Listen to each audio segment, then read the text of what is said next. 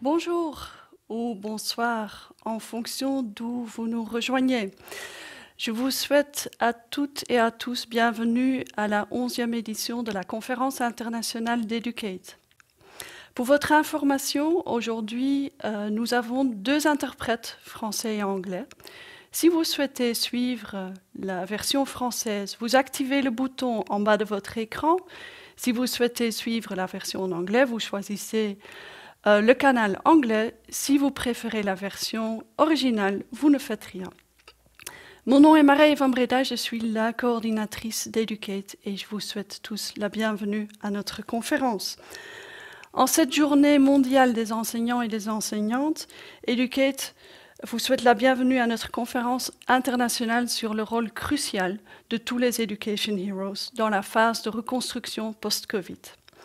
La conférence d'aujourd'hui débute avec une session d'ouverture avec euh, deux keynote speakers, suivis par une dis discussion de groupe avec des intervenants de différents continents. À travers cette conférence, Educate souhaite partager des bonnes pratiques, souhaite créer des passerelles et appeler les gouvernements à assurer un apprentissage continu pour tous les élèves pendant et après la crise du Covid. La conférence d'Educate est organisée avec l'appui de VVOB, APF et le gouvernement belge. Educate remercie tous les intervenants et tous ses partenaires pour l'organisation de cette conférence. La session à laquelle vous allez assister a été co-organisée par UNICEF, la Banque mondiale, Pratam et euh, la campagne mondiale pour l'éducation. Elle sera introduite par un speech de la part de la ministre de la coopération au développement, Myriam Kittir. Pour la modération, je peux compter sur l'appui du professeur Ides Nikes de la KU Leuven, à qui je vais bientôt donner la parole. Je vous donne encore quelques instructions pratiques, si vous me le permettez. Donc, vous pouvez poser des questions durant la conférence. Il y a euh, la fonction chat qui se trouve sur votre écran par laquelle vous pouvez poser vos questions. À la fin de chaque intervention, on essaiera d'y répondre. Et euh, après chaque session, euh, les enregistrements seront visibles sur notre site internet dès ce soir où vous pouvez visionner la conférence. Si vous souhaitez communiquer durant la conférence via les réseaux sociaux, n'hésitez pas à le faire en utilisant le hashtag Education Heroes. Je vous souhaite à toutes et à tous une très bonne conférence et je laisse la parole à professeur Ides Nikez. Merci.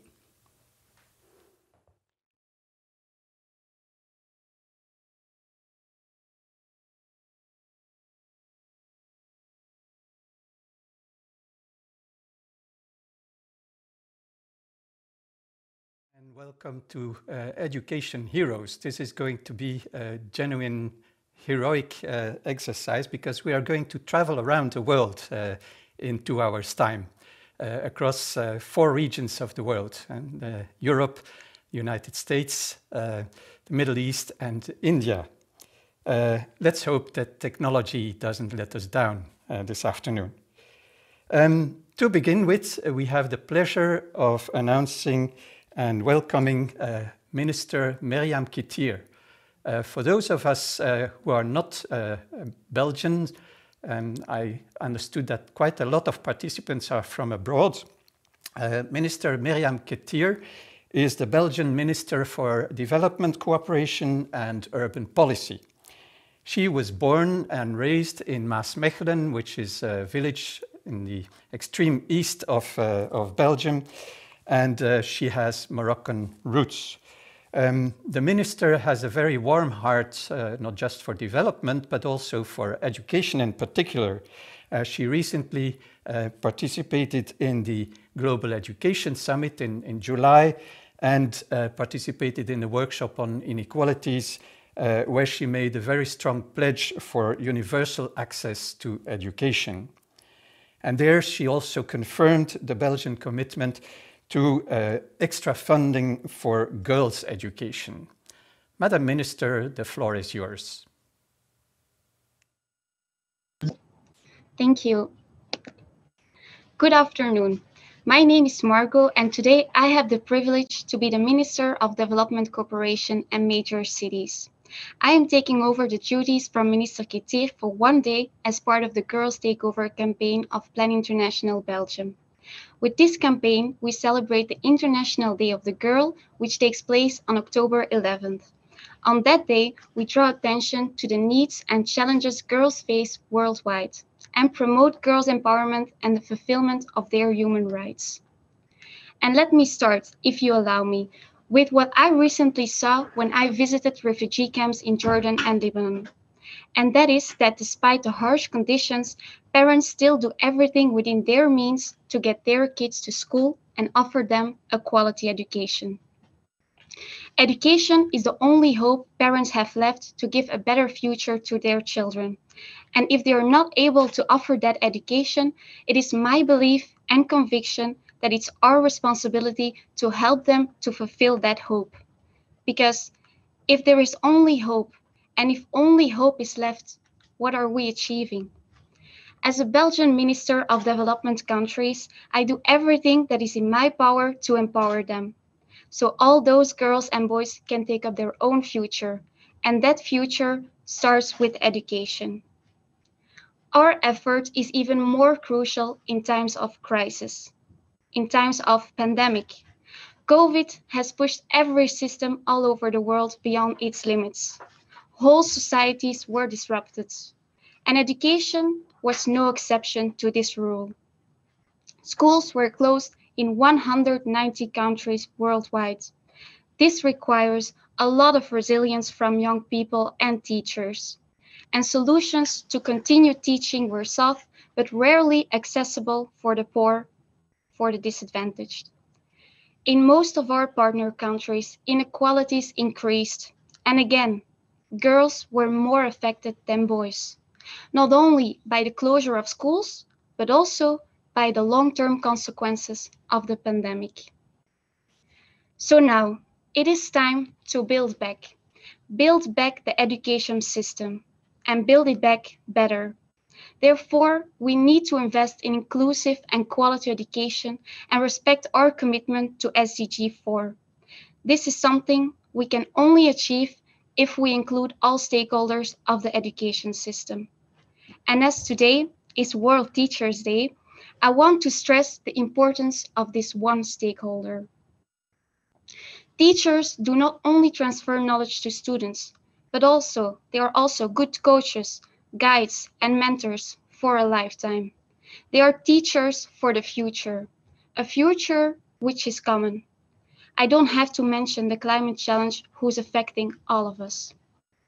So, now that we are going back to a more normal situation, the role of teachers is crucial not only for the learning part, but also to accompany their students in facing the global challenges such as climate change and social and economic inequalities. Unfortunately, despite the essential nature of their profession, teachers are not always considered at their true value. The testimonies that will feed this conference will help to convince people of the importance of their task, whether here in Belgium or in our partner countries. One thing is sure, I don't need convincing. I have seen the impact a teacher can make. I have seen the solutions they can come up with. I have witnessed their passion. And even though we are a small donor, we as Belgium have developed quite some expertise when it comes to teacher training. We will continue to invest in this key profession because we know that teacher training is crucial. Crucial to increase the quality of education. Crucial to support all children in all their diversity in building a better future. Crucial in making SDG 4 come true. Before giving the floor to the experts in today's panel, I just want to highlight that my commitment to SDG 4 is materializing in concrete actions. The past months, I have reconfirmed Belgium's commitment to the Global Partnership for Education with the 26 million euros for the next four years and a 2 million euros additional support for girls' education.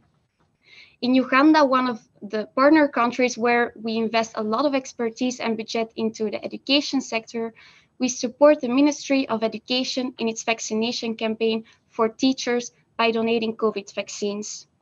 This to accelerate the schools reopening in Uganda. And during the pandemic, Belgium supported the ministry and teachers in developing new methods and content for distance teaching and learning.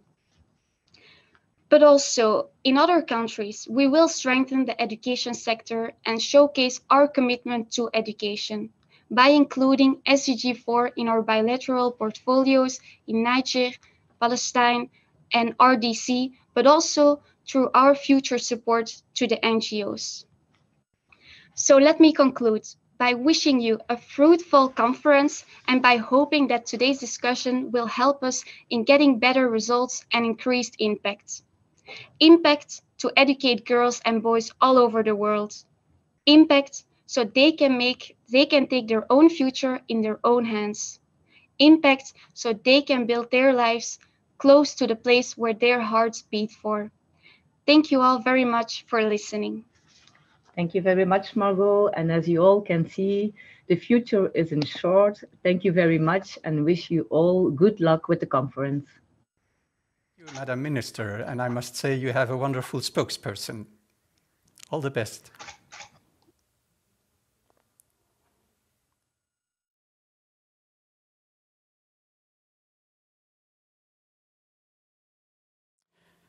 Okay, so then we can go for our first session. And for that session, we are going to travel to Washington first, uh, to uh, Quentin Wodon uh, from the World Bank, and then from Washington to uh, New York to meet Mrs. Linda Jones from UNICEF. Um, both of them will give a presentation of a global picture um, yeah, in, under the umbrella um, slogan, say, of building back uh, better. Uh, let me briefly present the two speakers. Each of them will speak for approximately 15 minutes, and there will be a possibility for the audience to um, just ask some, uh, some informative questions uh, if necessary. Um, Mr. Quentin Wodon is lead economist uh, at the World Bank um, in the field of education. But previously, he was also one of the uh, specialists um, in the, uh, the, field of, um, of poverty, uh, in particular for Africa and Latin America. So he um, is an excellent person to talk about the topic uh, today and how um, building back better can be uh, achieved for the most disadvantaged groups, the most vulnerable worldwide. Um, Quentin Wodon also has one leg in the academic world because uh, he has been publishing a lot, hundreds of publications, I, I should say, and has been teaching at uh, uh, three universities, uh, as, long, as, as, far as I know. Uh, so he has a very comprehensive view of uh, the area. Um, and then we will have Mrs. Linda Jones from UNICEF. Mrs. Linda Jones started as a teacher herself, so she's one of those heroes. Uh, she started uh, teaching in the UK and then um, went working in uh, Guyana with the Ministry of Education there um, to uh, develop curricula.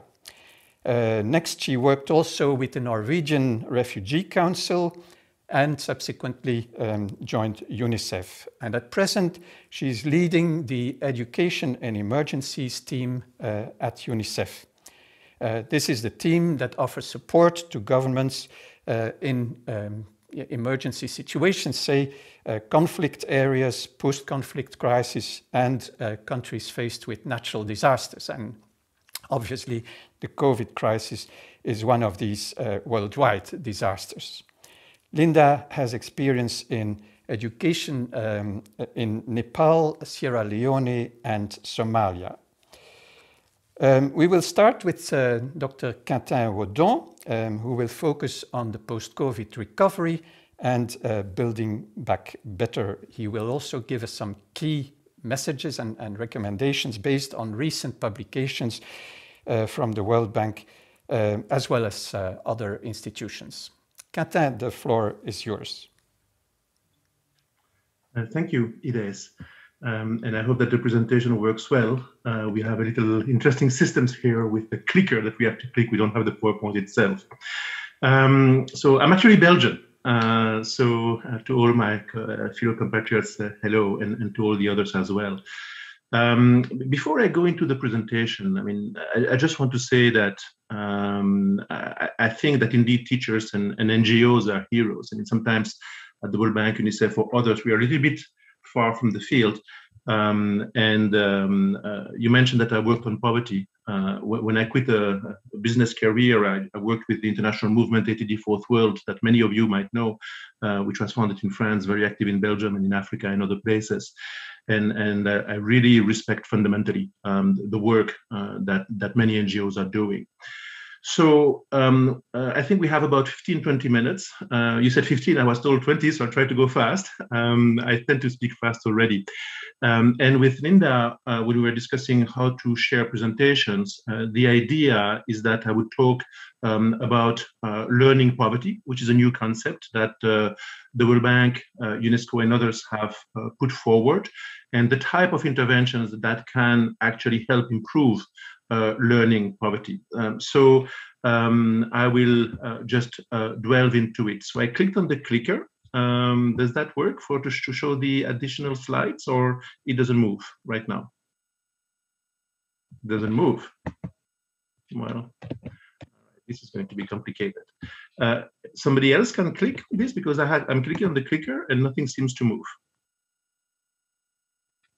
If it does not, that's okay. I will just uh, talk uh, out of, ah, somebody else is clicking, wonderful. So um, the World Bank, uh, UNESCO and others came up uh, with um, a way to measure uh, learning poverty uh, a bit more than a year ago. Um, learning poverty is defined as the share of the children who cannot read and understand a simple text by age 10, an age appropriate text. Um, and uh, in education, as you know, we have a, a, wide range of different student assessments uh, that are done over the world. Um, I mean, PISA would be one of the ones that uh, Belgium participates in, as well as many other middle and high income countries. Uh, you have others. For example, in Francophone Africa, uh, we have PASEC, um, uh, which is for about um, 10, 12 countries, depending on the year. so the way this is done is that for the children who are um, in school, um, we combine data from all those different student assessments all over the world um, uh, to make them more comparable. And we can see for the children who are in school whether they are able to actually understand a simple text. Um, for the children who are out of school by age 10, uh, the idea uh, is that um, uh, they will uh, not be able to read and understand. They're already out of school. Um, so first, I mean, why do we use reading um, as uh, the benchmark for uh, learning poverty? I won't go through all uh, the elements that are on this slide, but essentially uh, the basic idea is this is really a foundational skill. Uh, if you don't know how to read by age 10, it's going to be very difficult for you um, to uh, be able to learn um, and to progress and go to secondary school or, or even beyond. Um, so the uh, incredible fact uh, that uh, you uh, may uh, know about, or maybe not, um, is that in the world, uh, we have very, very high levels of learning poverty. Um, so I'm going to show you this slide. In poor countries, uh, or in low income countries, about 80% of the children are uh, learning poor. Um, so 8 in 10 children is not able to read that simple text by age 10. Uh, in uh, high income countries, uh, the proportion uh, is much lower, of course, 9%. Uh, now, uh, this is a conference in part for Belgian NGOs, if I understand well, that are working in developing countries. And that would mean that quite a few um, of those are in Africa um, in Africa, uh, and these are numbers uh, before the COVID 19 crisis. Uh, in Africa, about nine in 10 children are uh, learning poor. Uh, so we are really uh, in what the World Bank called a learning crisis. Um, now, um, sometimes there is a little bit of a debate um, and, and I use myself to, to think, I mean, are, are we right to actually focus so much um, on uh, learning poverty. And, and, I believe we are. Um, and um, uh, the debate uh, is uh, perhaps between uh, helping more children go to school um, and helping children learn while they are in school. Now, as I mentioned, that, that measure that we are using of learning poverty combines both, right? Because it looks at how well children are learning while in school, and it also takes into account the out-of-school population, uh, which is assumed to be learning poor because the child at 10 years of age is already out of school, right? But there is a very, very close connection uh, between uh, the two. Um, and to give you an example, and this is not part of the slides, um, we recently implemented um, survey in 10 uh, francophone countries um, in Africa as part um, of work uh, with uh, WAEMU, the West African Economic and Monetary Union. Um, and uh, there is a very interesting question, which is a very simple question um, uh, that uh, is in that survey with a lot of details on the answers, which is what matters. So the question is, why did your child drop out of school? um, the question is asked to parents. And sometimes you have that question in surveys and you might have six, seven responses. In this particular survey, um, uh, it's asked in two different points of time, but, but you have about 17 different responses. So you can go in depth in terms of understanding why um, the children drop out of school. And what is striking uh, is that, of course, most of the children drop out of school at the primary level, the completion rates are very low in those countries. But the main reason why they drop out of school is because they don't learn enough in school. So we shouldn't consider the learning for the children and the issue of children out of school as two separate issues. The best way, uh, or, or, one of the best ways, to try to keep uh, the children in school and, and make sure that the children go to school, that it's worthwhile for the families to spend money um, uh, to send the children to school, is to ensure uh, that uh, we tackle the issue of learning poverty, right? And on this graph, uh, you see um, the different levels of learning poverty uh, for different parts of the world. Now, the bad news is that uh, in low and middle income countries as a whole, um, before uh, the COVID crisis, we had an, a level of learning poverty of 53%. Um, now, after uh, some of the simulations, the more pessimistic scenario for those simulations, suggest that learning poverty may have increased by 10 percentage points. Um, so we are in a situation that is even worse uh, than the measures um, that I showed you. Now, these are simulations. We have to see uh, what uh, will happen in practice. It might be better, it might be worse, but clearly there's a very large negative impact of the crisis for obvious reasons. Uh, the children are out of school, and in many cases, there's very little uh, that is provided in terms of distance learning uh, for um, uh, the fact, for example, that you don't have the internet. Now, um, I am not going to go in details here uh, in the next two slides. This is just to let you know that the World Bank has put together a new blueprint um, for how to improve education systems uh, with five uh, pillars and then a number of recommendations for each of those pillars. Um, when I was trying to think about what might be especially useful to you, um, again, under the assumption that many of you are either in government or maybe in an NGO, uh, trying to improve uh, education systems and, and, especially learning or even getting the children to school, um, uh, what could be more useful to you? Right? And so um, I want to focus in the next uh, six, seven uh, minutes um, uh, to uh, on a document that the World Bank published about 18 months ago on cost-effective approaches to improve um, global learning. So what happened is that they put together a panel of, of really experts and luminaries um, to look at the evidence uh, and especially um, impact evaluations uh, that uh, would help us understand what works, but also what does not work, right?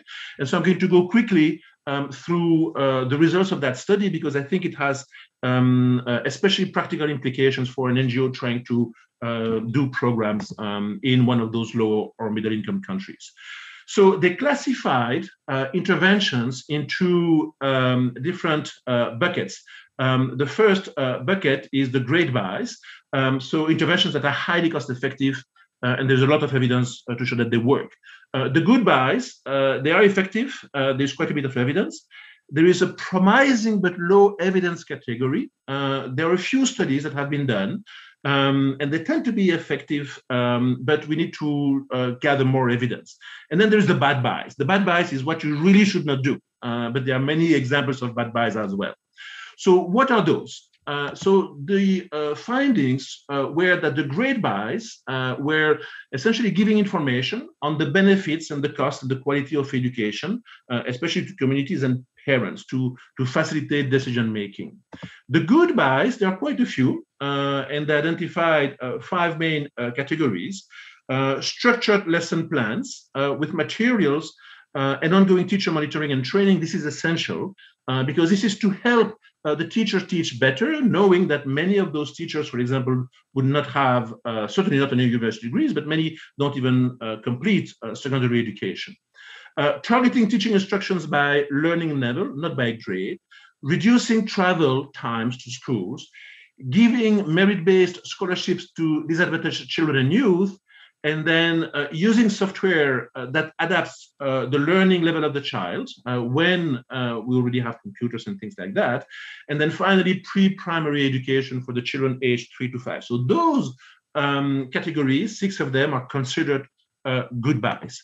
Now, the promising interventions with limited evidence, they highlight three essentially. Um, early childhood stimulation programs for children aged zero to two. Uh, that help parents uh, have more interactions uh, with their children. Uh, teacher accountability and incentive reform. Um, this is something that often takes a bit of time to get an impact, but, but it can have a, a, an important impact. And then community involvement in school management.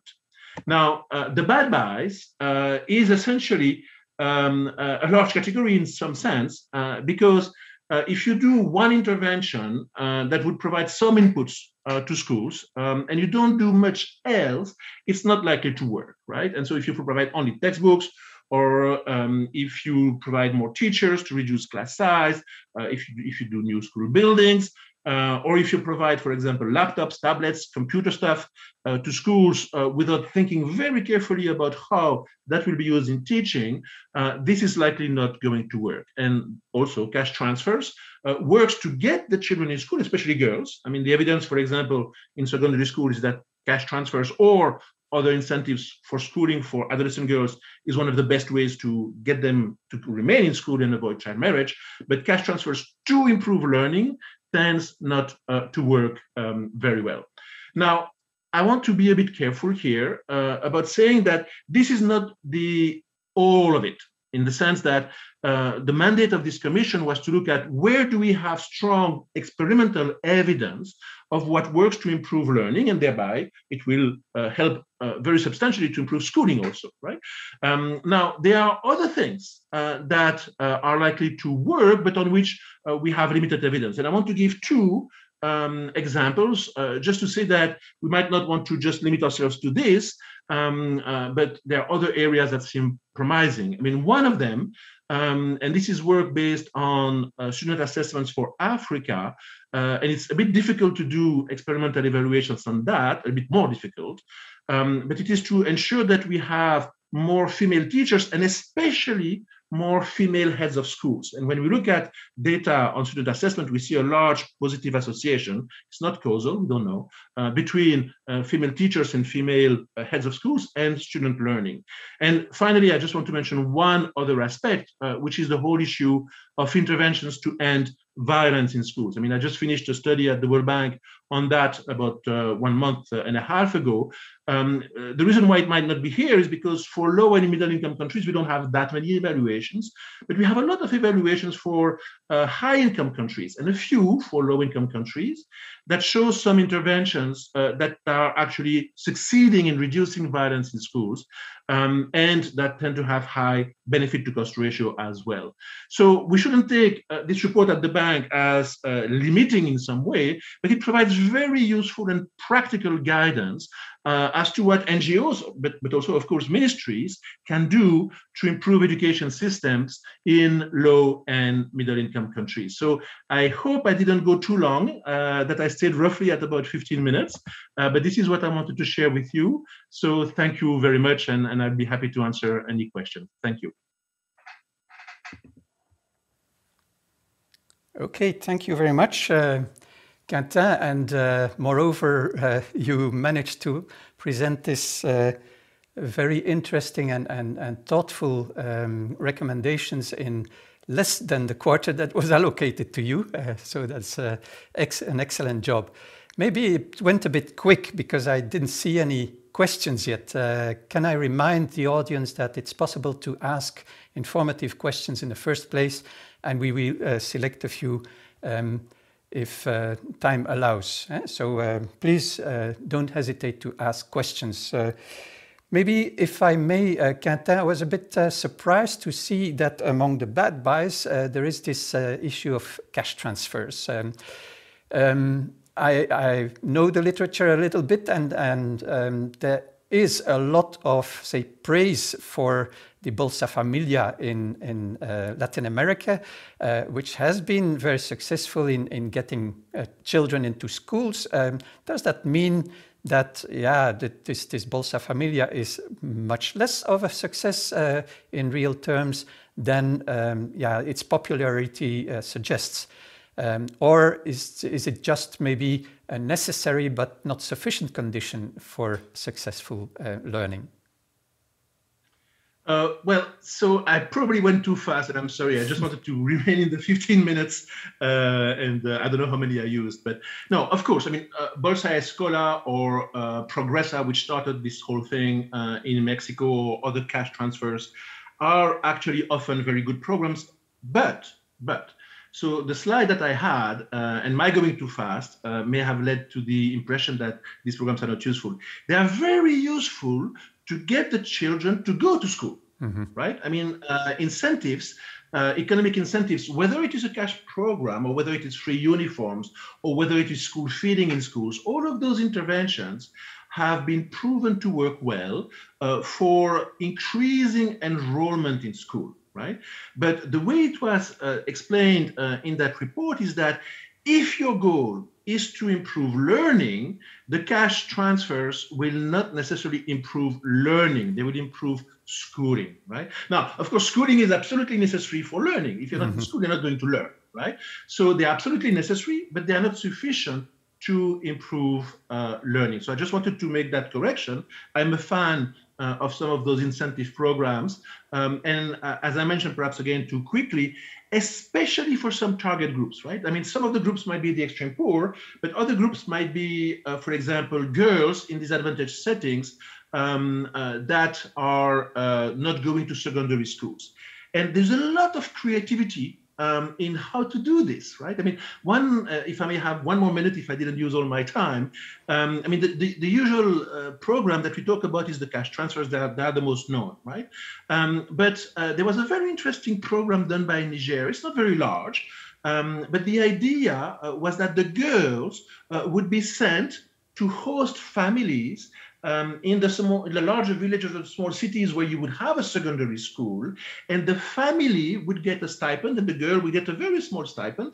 Um, but that program actually had uh, an amazing success uh, in getting uh, the girls uh, to school and in keeping them in school much more than those who did not get the program.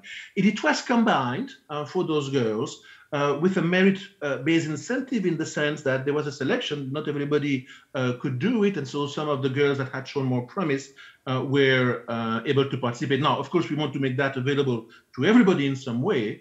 Um, but what I want to say here is that cash transfer, yes, but other ways of providing incentives um, uh, to um, the girls or to their parents or to host families have a lot of, of promise. So I, I just want to correct myself if what I said was not well understood. Necessary, for schooling, uh, not sufficient for learning.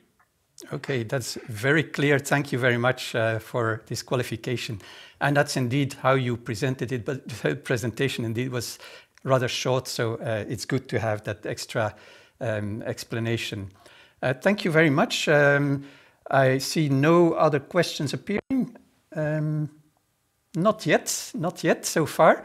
Um, so I suggest that we move on uh, to um, New York this time. Good morning, New York, and good morning, Linda Jones, um, for uh, being with us. Uh, as I said, um, you, with your expertise in emergency um, education, um, you will, I think, give us some lessons drawn not just from the COVID crisis, but maybe also from previous crises. Uh, and tell us um, how you see um, some complimentary messages to those that were forwarded by Quentin. And in the meantime, if uh, people in the audience want to add some questions also for um, Quentin Wodon, uh, please go ahead and we will um, select your questions at the end of uh, this presentation. Linda, the floor is yours.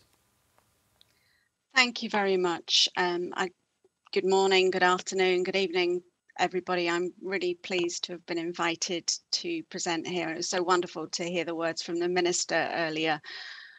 Um, so this presentation focuses very much actually on the COVID crises and what's coming next.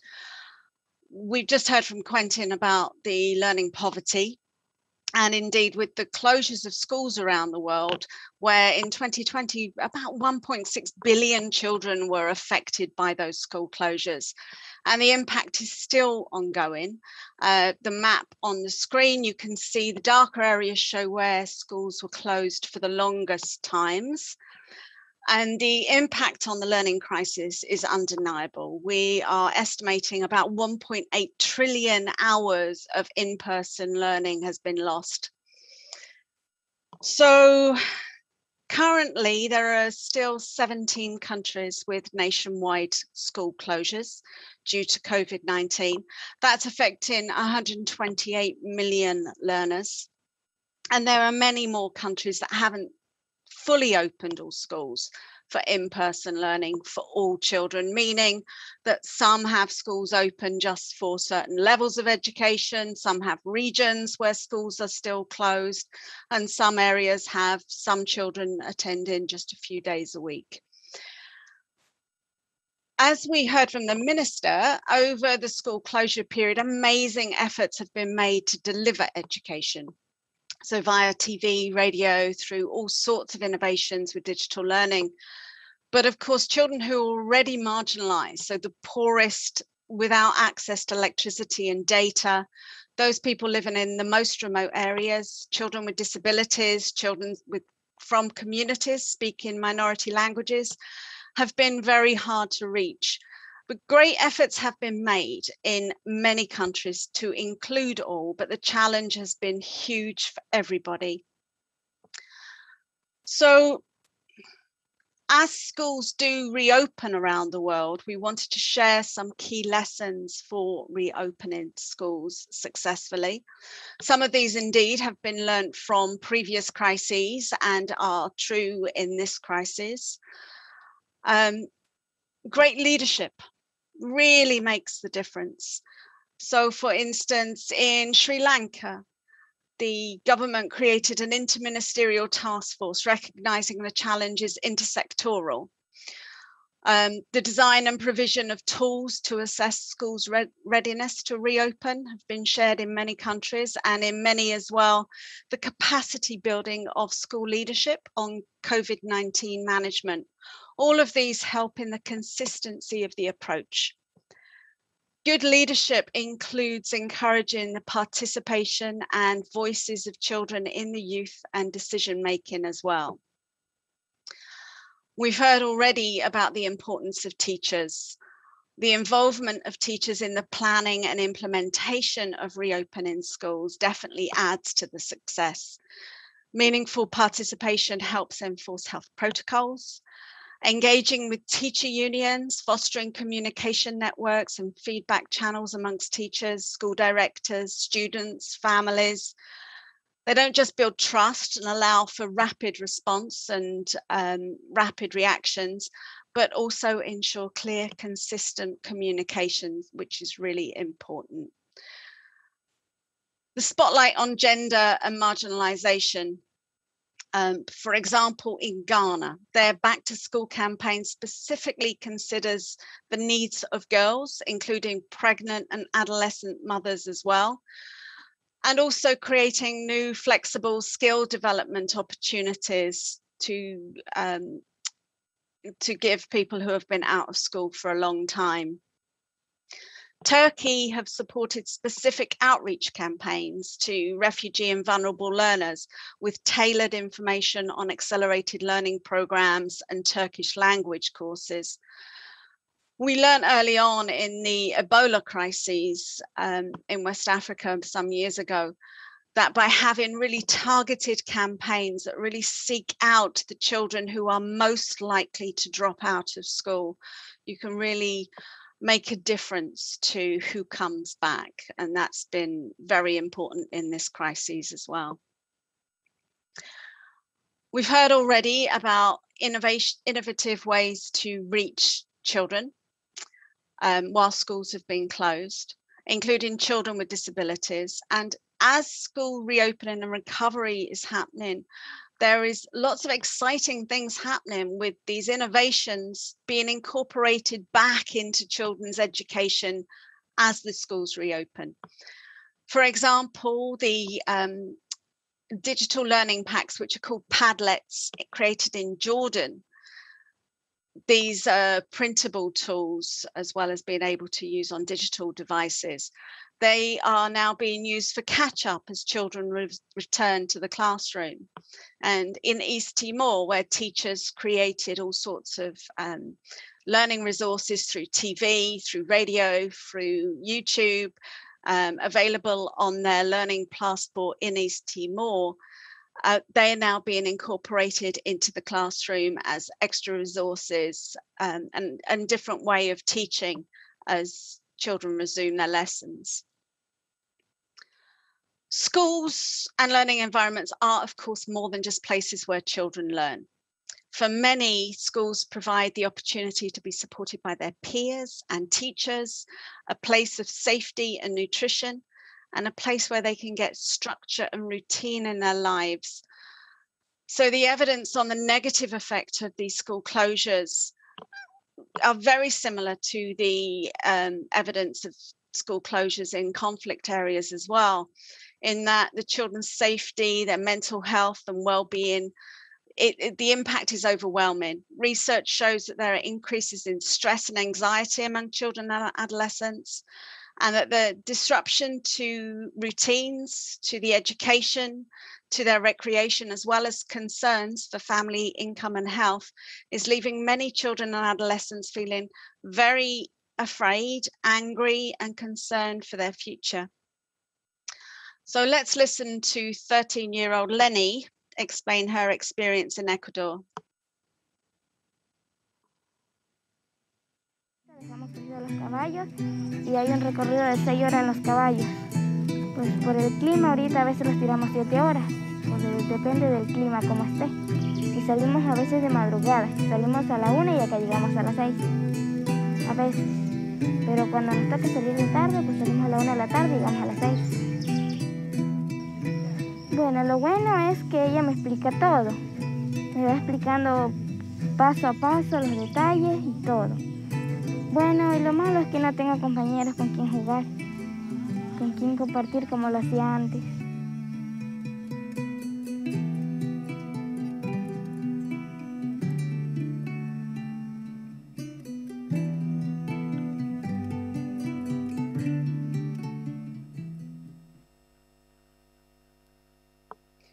And there we can see the extremes that some teachers and parents and children have been going through over the COVID crisis to really try to ensure that learning is continuing.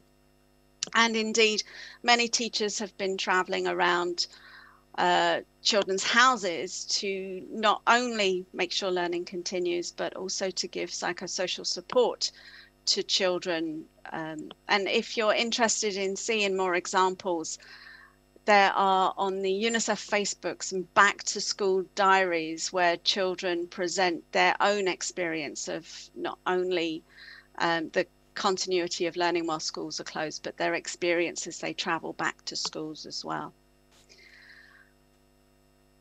So the prompt resumption of in-person learning and access to other school environments to children for play are really critical actions to protect children and help accelerate the recovery in the aftermath of the crises.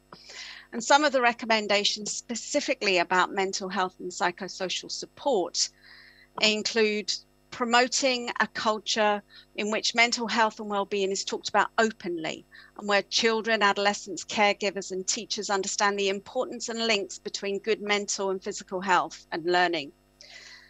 In thailand for example the sound of happiness campaign was implemented where people shared their experiences of struggling with mental health challenges, destigmatizing the issues and promoting available services and platforms for other adolescents to seek professional help. Promoting children's participation in schools and learning environments, I've mentioned this already in all aspects, but children need opportunities to express their opinions and exercise their agency in the decisions that affect them. Uh, so, for example, in a number of countries, focus group discussions were held with children to develop the school protocols for school operations during COVID 19. Teachers are playing a crucial role in supporting children's learning and well-being, as we've mentioned already, and supporting teachers to manage their own mental health and systematically strengthen their knowledge and capacities to promote students' mental health and well-being is essential. Some countries, uh, teacher unions have developed peer to peer networks to, to, support teachers' mental health. In many countries, uh, governments have supported teachers with training and tools to address the mental health and psychosocial support needs of children after experiencing prolonged school closures. In Belarus, UNICEF and partners provided psychological assistance to COVID 19 frontline workers, including teachers, providing practical tips for managing stress and preventing burnout as well. Collaborating across sectors is, uh, of course, really important to ensure that referral pathways are established with the health sector, ensuring school health programs address the current issues, and that social service workforce is working closely with schools to address child protection issues effectively. Health and well-being is central to learning so as we look to the challenges of the triple crisis, so that's the learning crisis, the economic crisis caused by the COVID-19 pandemic, and the impact of COVID-19 on children's health and well-being, a comprehensive approach where everyone continues to play their key roles is paramount for the recovery UNICEF, the World Bank, and UNESCO have launched this year a mission recovery, and that's to get all children back into learning, supported with these comprehensive, um, tailored measures, um, and supporting teachers as well. Thank you. Thank you very much, uh, Linda. Um, I must say you started with uh, some very gloomy figures. Um, I was astonished seeing that so many millions and millions of children are still not going to school due to school closures. But the rest of your um, presentation was so hope-giving, so warm-hearted, um, that, uh, yeah, it, it uh, sounds extremely encouraging uh, for us.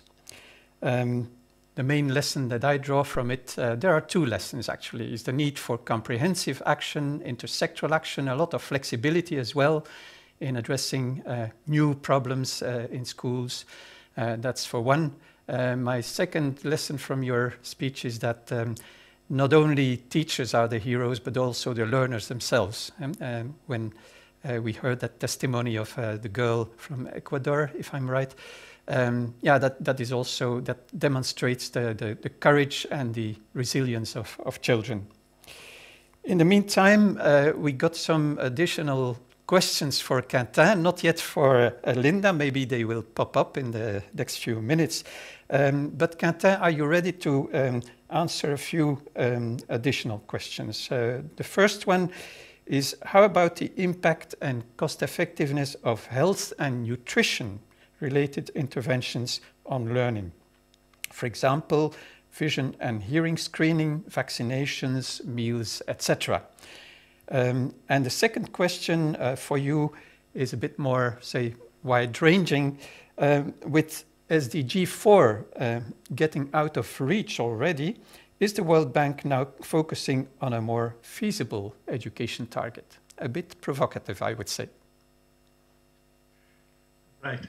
Um, so first on health, um, yes, I fully agree uh, that health interventions are absolutely crucial Um, I'm actually working right now uh, with colleagues from the health practice at the World Bank, um, and we are trying to um, do three things. Uh, define um, a package of essential health interventions in school.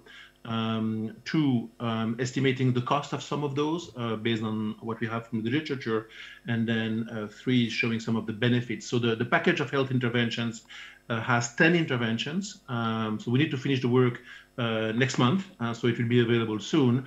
Um, and if I uh, just want to mention a few of those, um, I mean, uh, one of them, uh, well, I won't have the time to, to mention a few of those, I guess, but one of them is what you cited, uh, which is um, school eye health. Um, and you know that in the world, a lot of people need a pair of eyeglasses, right? I mean, me too. You have, I have my little eyeglasses here. Um, but more seriously, um, these are uh, programs uh, that are uh, still basically non-existent or almost non-existent, for example, in Africa. Um, I mentioned PASEC, uh, which was a student assessment data uh, for uh, 10 West African countries earlier. Um, and the 2014 round of PASEC shows that uh, only about uh, two or three percent of uh, second graders have vision screening in school, and six percent of sixth graders. So it, it's amazing. It's and and it is something that is relatively easy to do um, and that can have a lot of benefits and that doesn't cost much, right? I mean, why is it relatively easy to do? Um, I mean, we all remember when we were in school uh, that we had these little things that we have to read, right, from far away. Uh, teachers can do the screenings themselves. They are, uh, they, you don't need uh, a ton uh, of expertise. You need a bit of training, but teachers can do the screening. And then providing pairs of eyeglasses uh, can be done extremely cost effectively.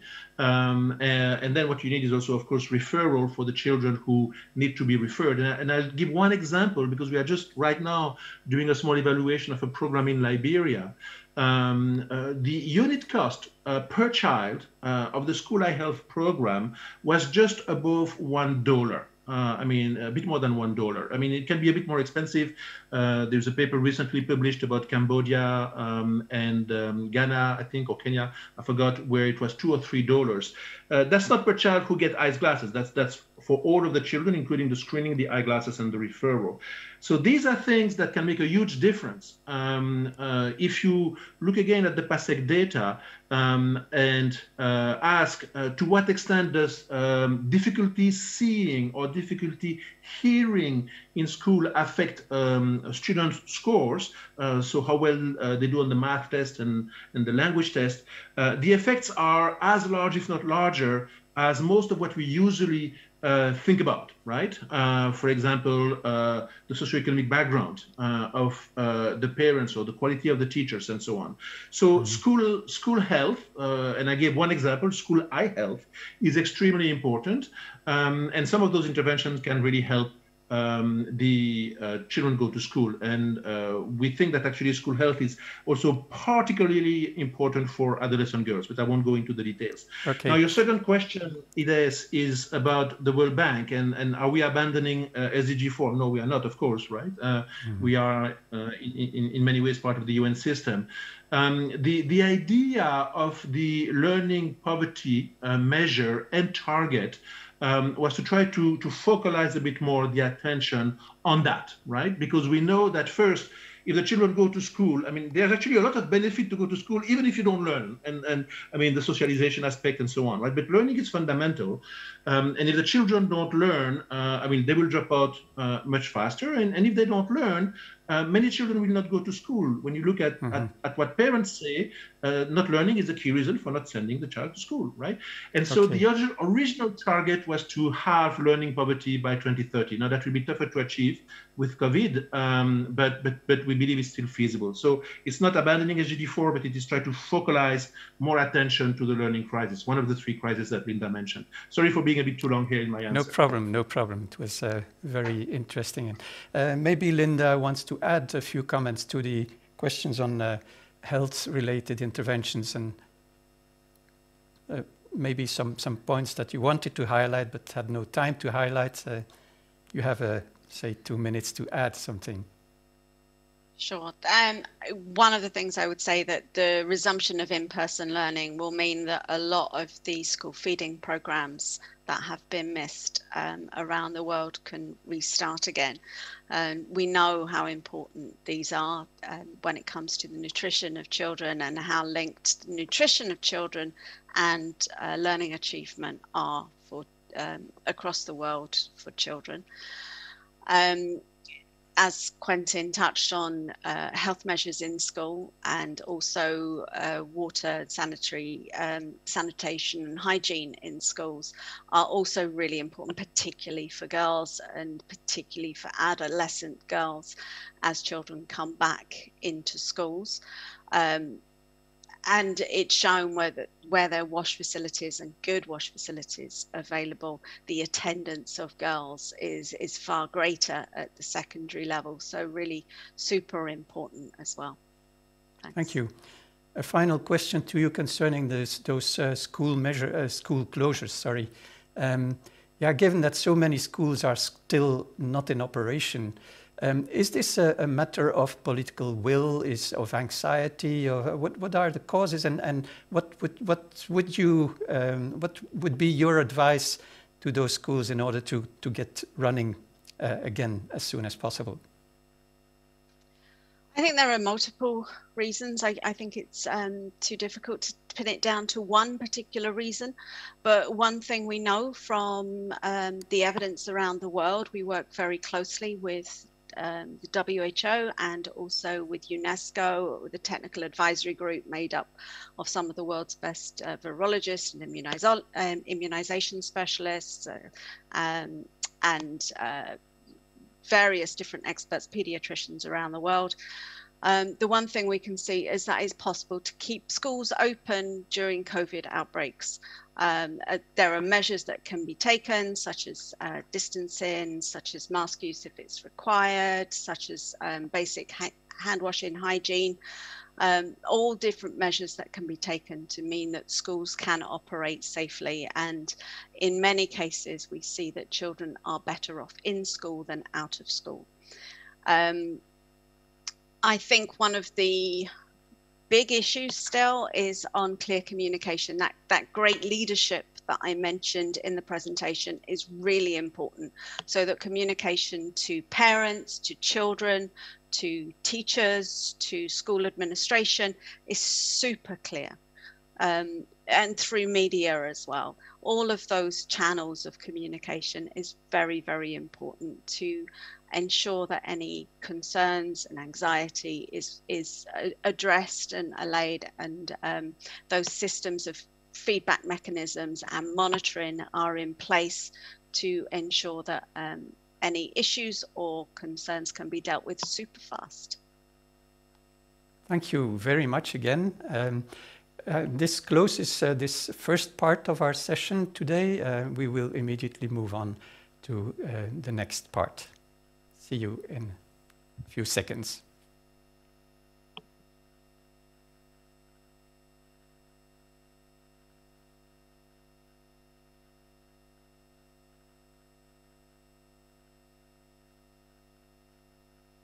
All right, here we go again. And um, yeah, as you may know, the um, panel this afternoon consists not of two speakers, but of four. And uh, we're going to uh, introduce the two other speakers by means of small personalized uh, interviews, uh, shorter presentations. And uh, we start with Mrs. Uh, Anaporni Chandrasekhar, if I pronounce your name correctly.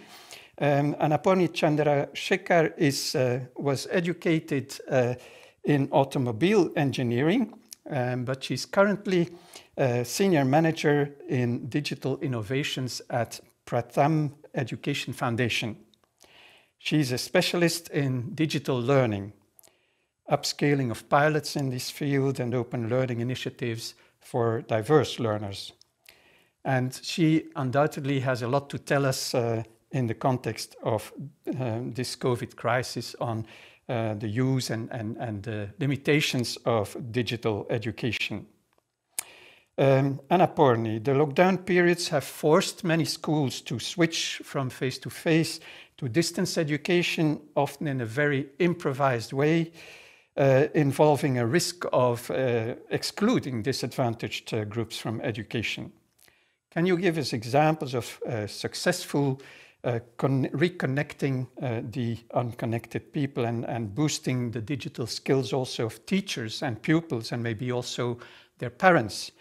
um, and local communities in these circumstances. And how did your foundation contribute to this? Anna Annapurni, the floor is yours. You've got five minutes. Thank you so much. Thank you. Um, the COVID-19 pandemic has, like Quentin and Linda affected children in many ways. And we were trying to reach them with any other organization at the level that they were we knew that learning and learning interventions probably during the pandemic was difficult to do. So we tried to engage them in activities that could keep them stress free, keep them engaged, and make them have fun.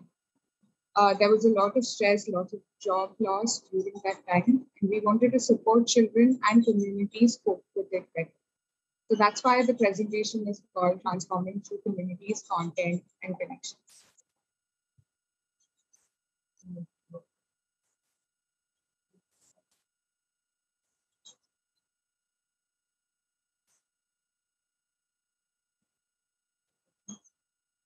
Yeah.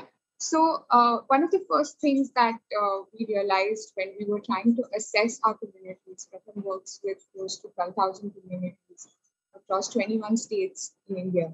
And uh, when we when we started our interventions, one of the first things we did is we tried to map children the devices that were available to them. And we realized that one solution cannot be applied to all. We can't have one kind of solution that works for all children because the kind of digital infrastructure, the kind of community stakeholders, and the kind of content that they need is very different. So, uh, based on the kind of digital infrastructure that was available, we chose our channels. So we diversified. We, before the pandemic, we were just making videos and games around early childhood education, around primary education, and around primary education. But what we did then was we said, okay, we can't reach all students this way. Close to 40% students in every village in many of the populated states of India do not have access to a smartphone or an internet.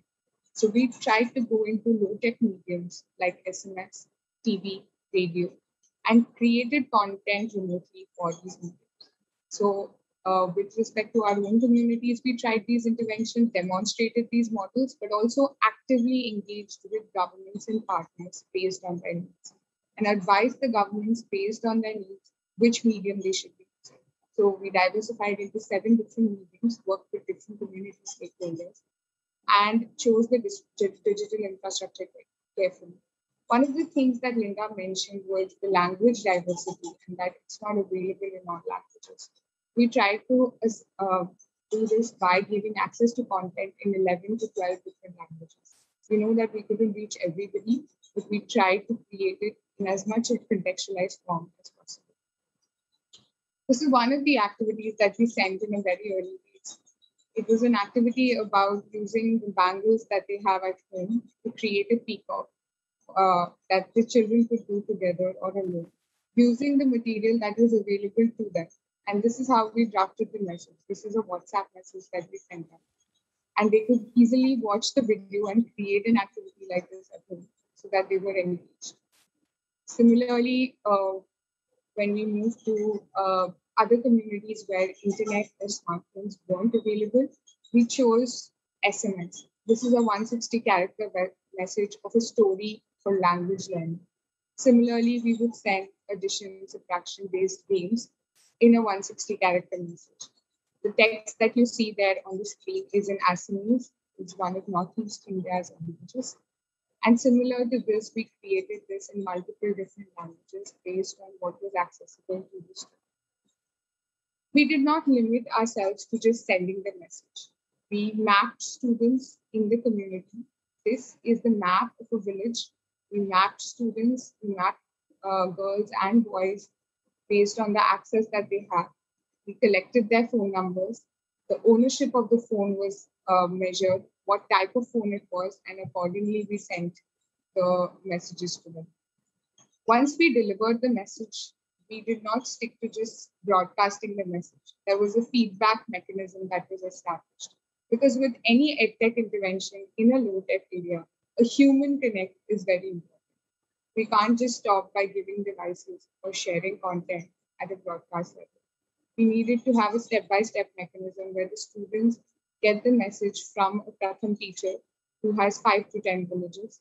The Pratham teacher sends it to parents or volunteers who he, or she engages in the community. And then they sit with the students and do the activity. We collected weekly information on how many students were receiving the message, which is access, how many of students were engaging with the message, which is engagement, and how many were actually understanding what was there. And this led us to also see what was the mood in the village, what was the context that we were working in, and accordingly make tweaks to the scenario and to the content that we delivering. Finally, when it comes to education heroes, there are four education heroes that I would like to highlight. Parents, uh, many of our parents, especially in the early childhood age groups, were parents who were not literate themselves. But the activities that we gave were about uh, for a mother to count tomatoes with her child at home. So she, we gave activities that were designed with the material that was avail- available to them and with a lot of visual access so that they could use that material to engage with their children. Similarly, we tried to create material for community stakeholders, grandparents in the communities, the village leaders, and how can they really support uh, communities uh, and children learn better. Can they provide an internet connection at a village level? Can there be shared smartphones that can be used by children, shared phones that can be more accessible to children? Finally, the youth this has actually been one of our biggest learnings during the pandemic, engaging with youth in a model of education for education. We trained youth in digital readiness. We gave them courses to skill themselves digitally, and then they really became our advocates on the ground working with children. So we were giving them an education of digital upskilling, which they later took to kids and children in their community to help them learn better. And finally, the teachers they have been really the backbone of this entire system, ensuring that the right content reaches everyone and everyone is engaged and making remote learning possible during these really difficult times. So in many ways, all of them have been education heroes the last two years. Schools have yet not opened completely in India. They are partially open. And we hope that children can go back to school, but we can continue these community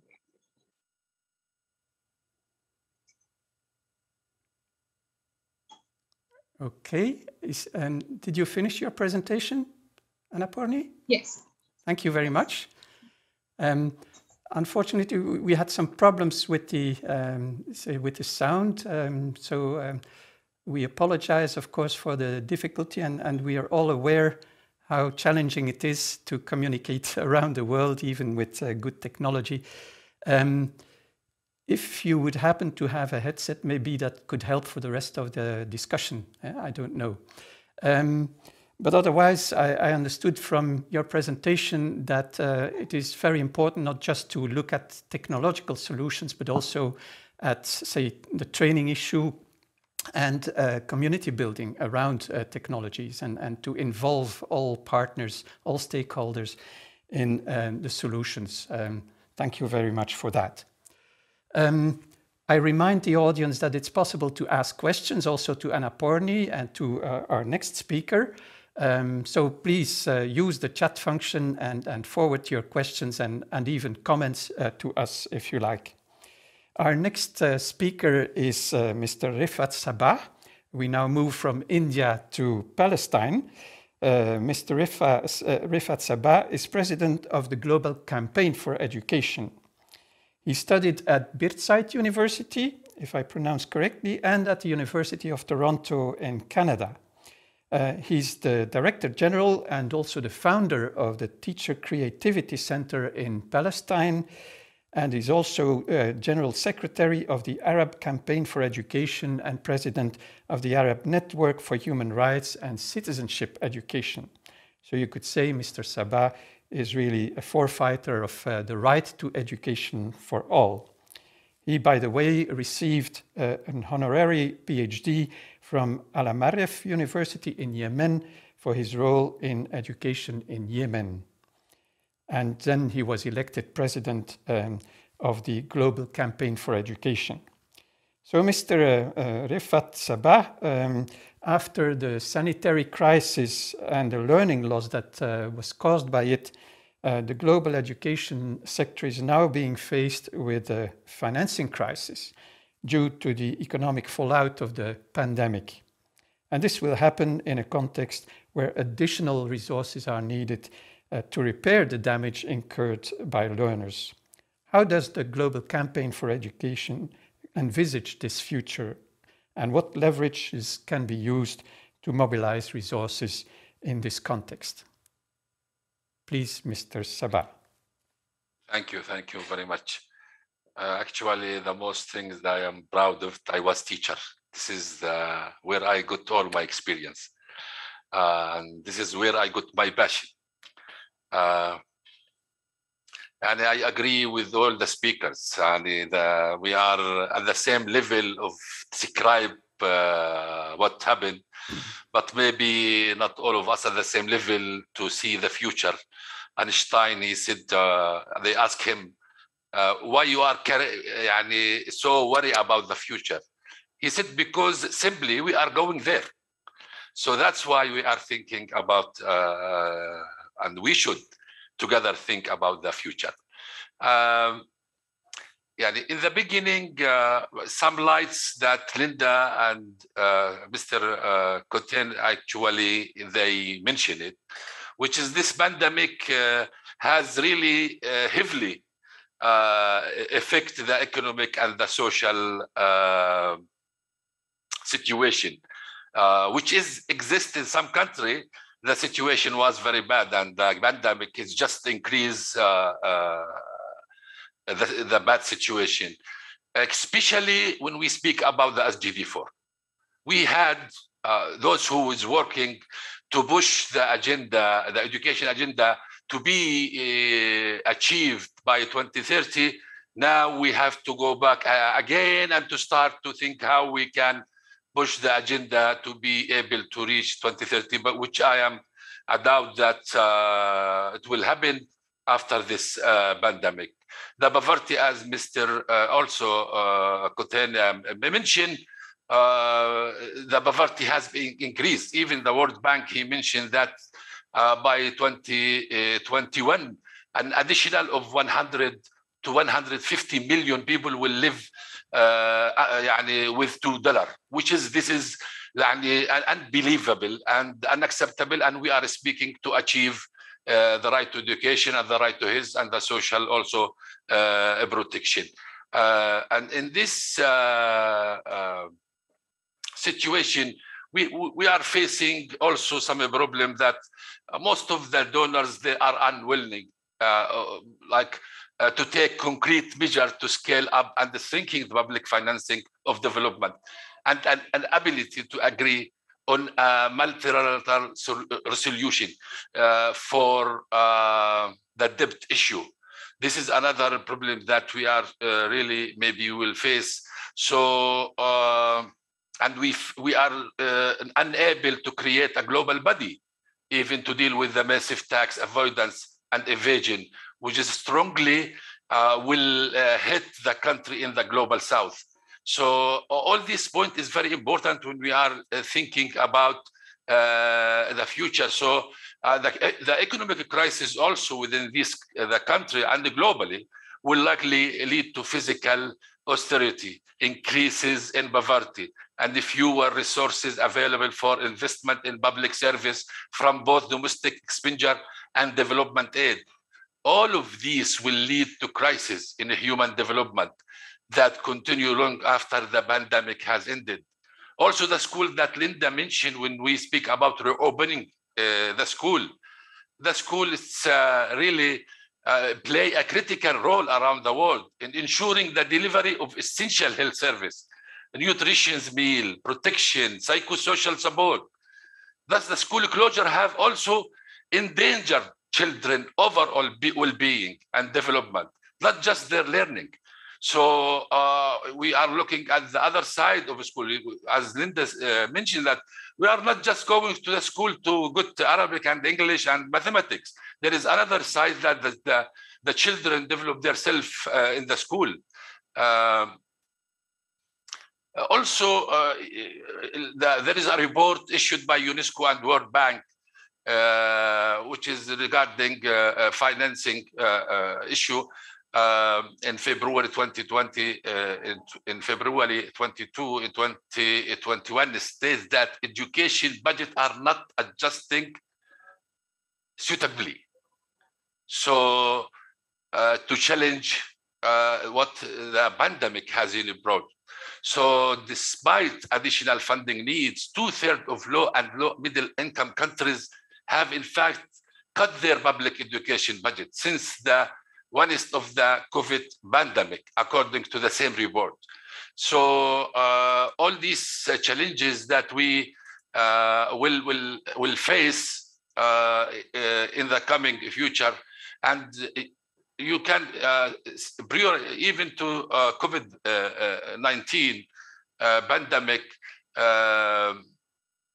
before the pandemic in 19 uh, in 2018 2019 the high income country were spending annually uh, around 8,500 for every child or youth education compared with 48 dollar in low income country so the, the, the pandemic will widen this gap. This is another also we have to take in our consideration.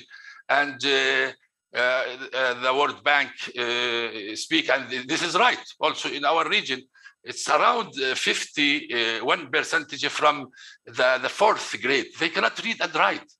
And now from 51 percentage all over the world, it will reach 63 percentage, which is a high percentage for those who will have learning loss. Uh, uh, maybe the World Bank, they named it uh, Lord, uh, learning poverty. I use the learning loss. I, uh, some people, uh, they use another concept, another words. So, and, and this is another problem that we are not agree about what is going on. Because some people, they said, we don't lose anything because there is nothing to lose. Why we are saying learning loss? if uh, uh, so uh, this is another debate that is is happening so the combination of being out of the school and the loss of family also uh, this is another problem caused by the pandemic. May leave uh, a lot of girls uh, vulnerable and may aggravate exclusion and inequality particularly for a person with disability and other marginalized groups. So those you can imagine with those family who, uh, with those people who lost their family and there is there is no uh, other resources that can support the external external financing is key support to education opportunity for of the world poorest this is uh, the sentence that uh, has been said in the beginning from Stefania, uh, the director of the UNESCO. Um, and then now, uh, uh, like I think all of us agree about uh, the the, the bad effect of the pandemic, despite there is opportunities also in this pandemic. But how GCE envision the future? GCEC, the immediate future after the, the pandemic will leave the condition of inequality exposed in all areas, especially in the education, the situation of exclusion of population, that have historically has been discriminated against will be more evident. We will see more now, huh? the, these things. Physical weakening will have negative impact on education budget and will depend on the political will of government to try to level these effects so that excluded population can benefit from affirmative action. Governments may increase their pressure on, on civil society.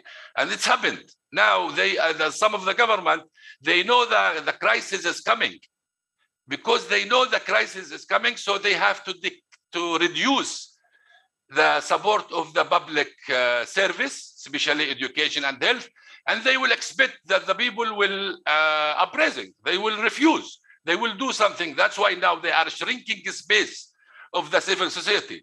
They are following us in everywhere, in the Facebook, in the Twitter, in they are trying to shrinking the space of the civil society, which is uh, this is also uh, dangerous, and we expect this in the coming uh, period.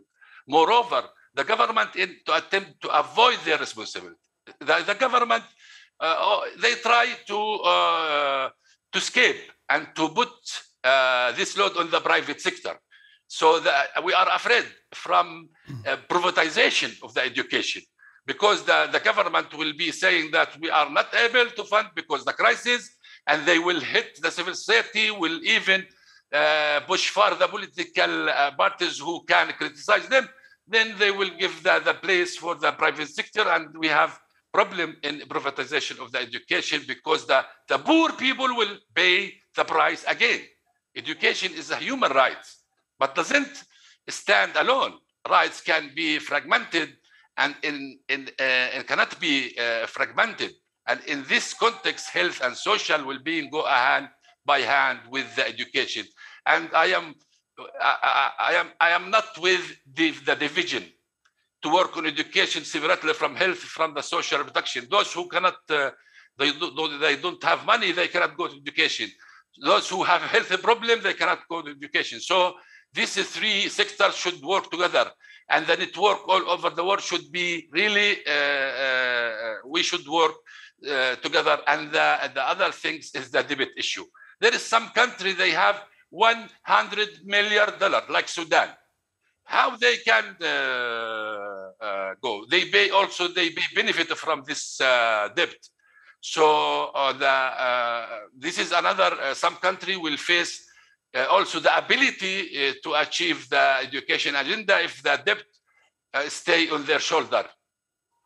So GCE trying to, to have a campaign in order to push the, the international country and donors uh, to cancel it, uh, the debt issue, or to uh, relieve it, or to swap it, or yani, we, we want to, especially, and regarding those who is really poor, we have to work on canceling, cancel the debt issue.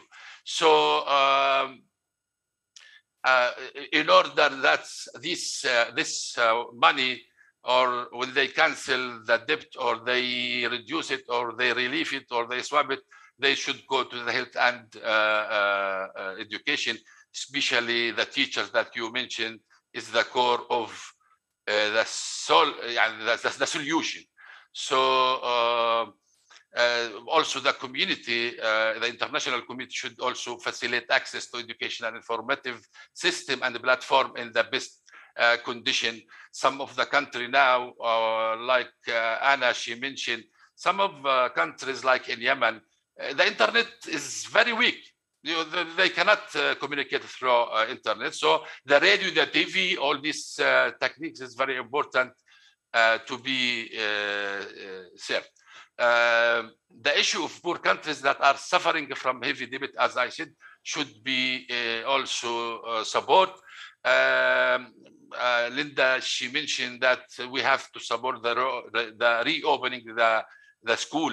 This is uh, we should have a strategy, uh, not just opening the school because uh, we are now seeing that the, the school is closing again. So it should be there is uh, protocols. Um, uh, like Save the Children, they publish a, a, very strong manual that can be used uh, in this part, and GC is doing campaign regarding that.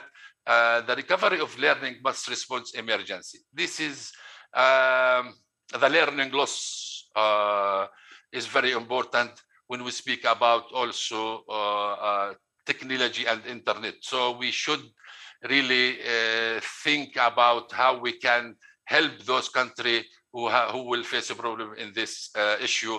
Also, um, uh, regarding the proper solution for tax justice and tax evasion are imperative in order uh, for low and lower middle country to recover and to be able to design effective plan and uh, measures.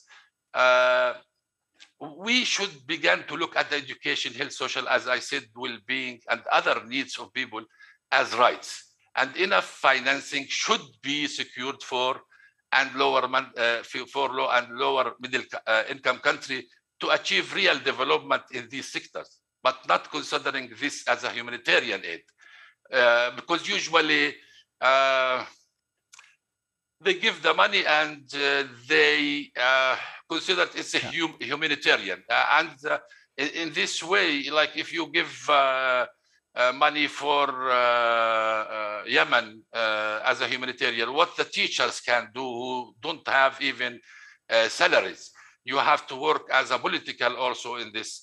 The solution is not individual that implies one specific area or country. It's common cause that concern the world, the whole world. So Mr. GCE Sabah? is aware of Yeah, sorry for uh, Yeah. interrupting you. I'm, I'm, I'm so sorry. Um, but we are running a bit over time. Um, I'm sure that a, a, number of the topics you want to address uh, will come back uh, during the, the discussion later on. Could you maybe try to wrap up in uh, one or two minutes and, and that we can yes, move to the uh, discussion? Now, GCE, yes, uh, sorry, sorry for that. Um, yes, GCE now is working on uh, one of the uh, campaign that we are working. It's one million voices campaign.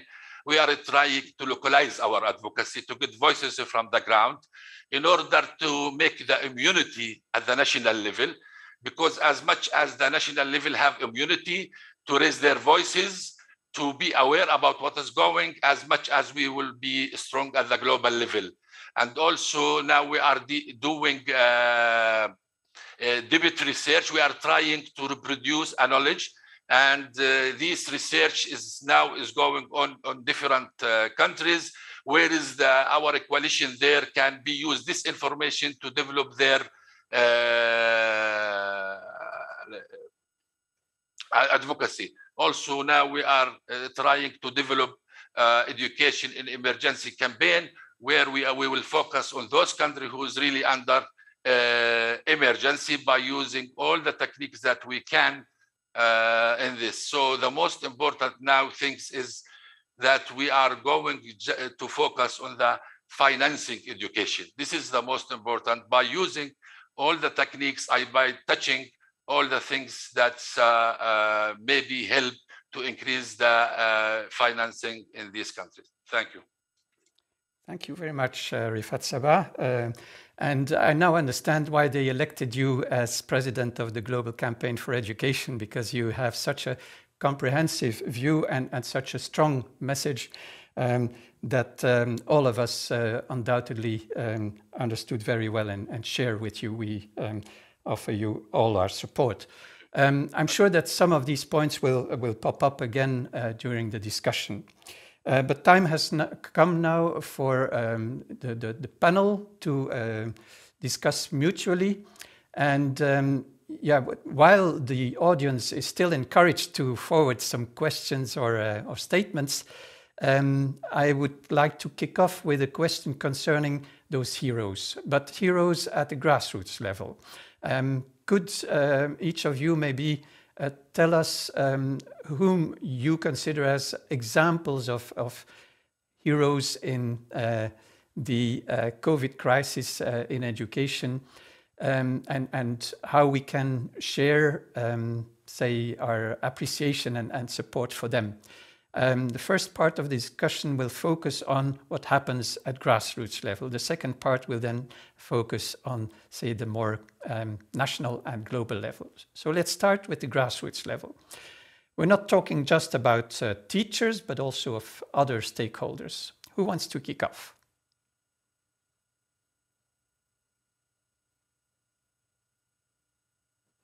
I can start. Okay, um, Annapurni. I hope the audio is better now. Yeah, it's um, better. Okay.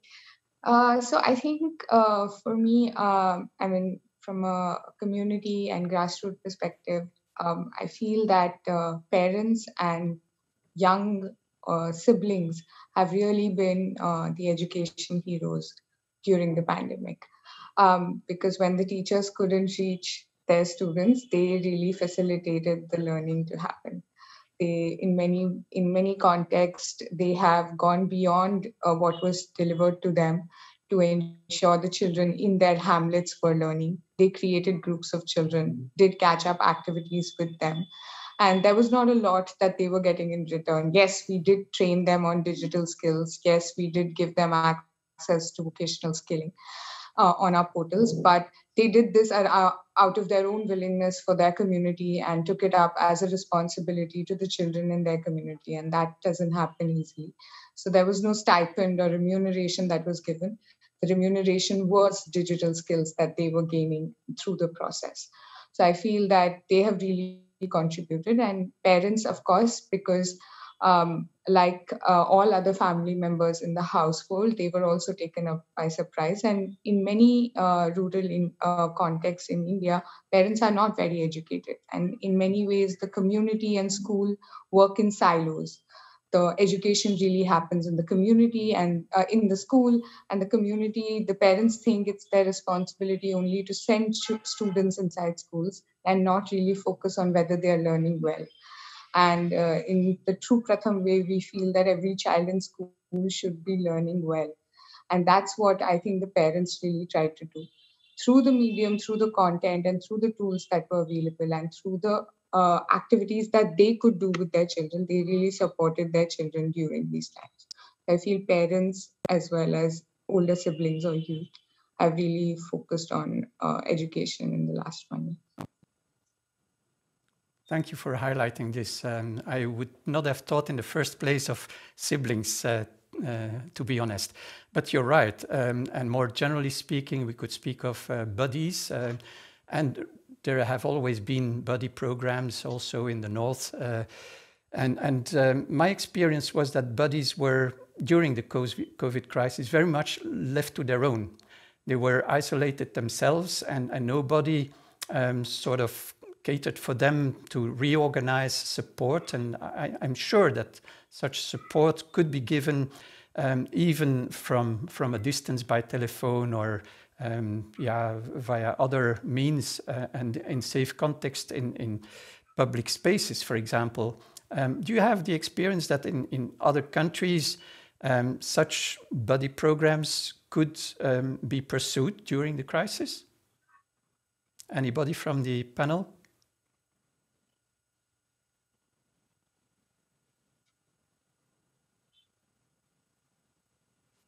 Not immediately. okay, uh, let's turn to some, some other um, heroes. I'm, I'm, i must say I'm uh, happy with the example because it's a sort of forgotten, forgotten group, eh? the, the siblings and the, and the buddies, um, who are very important, uh, especially for disadvantaged children. If I could um, yes.